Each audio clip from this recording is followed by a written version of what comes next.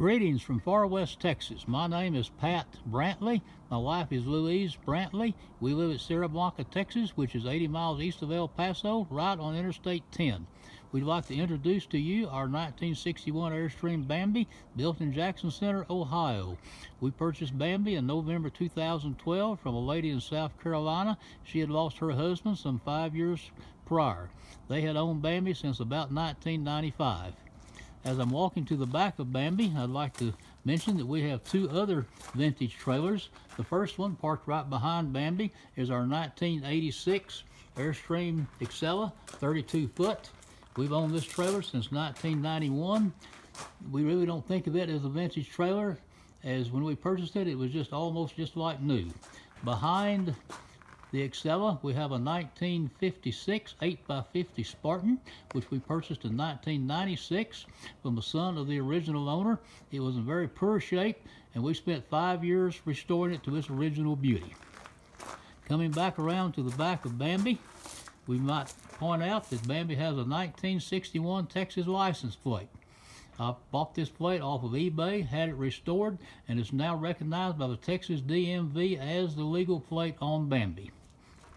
We'll now walk on back around and go inside of Bambi. Bambi does have the famous door in a door.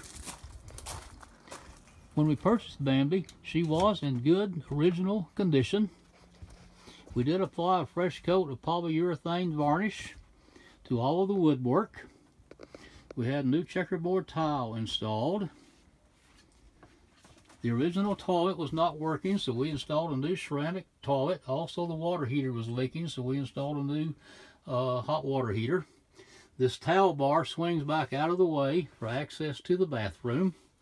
It did not have an air conditioner, and Louise would have never gone out in it in the summer without an air, so we did install a new air conditioner. Obviously, the refrigerator is original. It did not work. We removed it, had it rebuilt at great expense and it still doesn't work very well so we travel with a Dometic cooler. My most recent upgrade or change is to remove the original furnace.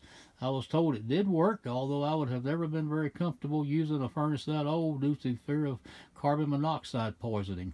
We have been out in Bambi in 30 degree weather, and a small electric heater kept us toasty warm. So we removed the furnace, made a nice little storage area out of it, used the grill from the furnace as the door to the storage area to keep the original look and also the vents on the outside of the trailer are still in place for the original look. We have entered Bambi in two antique car shows at our county fair and have won trophies both times. Since we've owned Bambi, we have spent about 195 nights in her.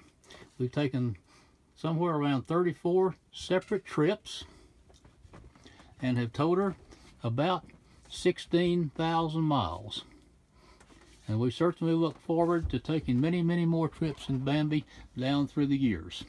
We've enjoyed showing Bambi to you and hope someday to see you down the road.